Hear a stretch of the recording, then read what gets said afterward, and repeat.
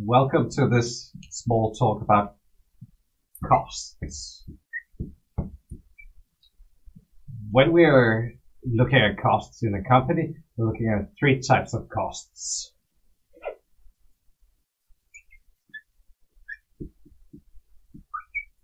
What we call the variable costs, the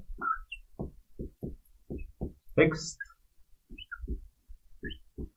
costs, and the costs that jump.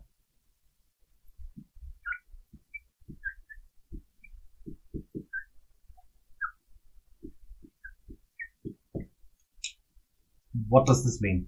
Well, it means that in a company, we have to pay for things. So some things we have to pay for no matter how much we produce. And I think that's the, the key word, the amount of production.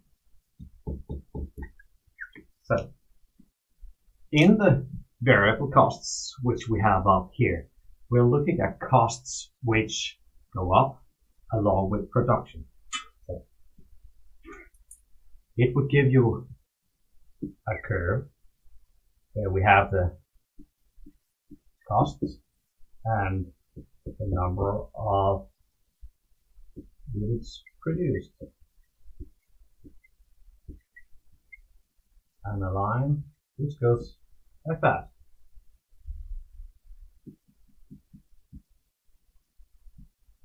One more production gives one more cost. And surprise, surprise, two more gives two more cost. So that's quite simple. So that could be like raw materials and things like that. However, then we have our fixed costs. And if we're making the same graph like that over here, we say, uh, we produce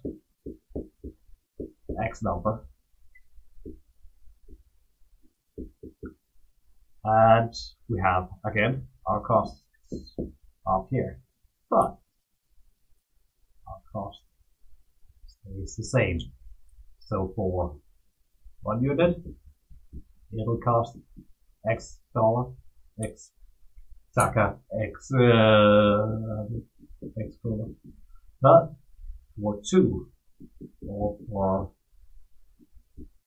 a thousand, it's still that same costs.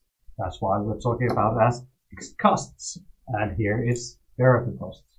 Then we have this confusing thing, these jumping costs. Because, hmm, there are things which we're looking at, which doesn't really follow the number of products and doesn't really stay the same. Say we have a machine. A machine, it can produce a thousand units.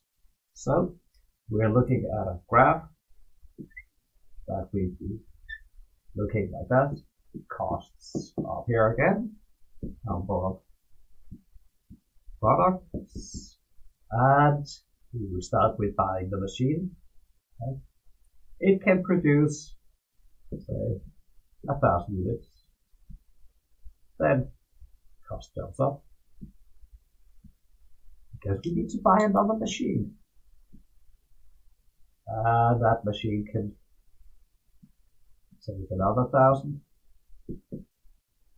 And we need to buy another, and so forth.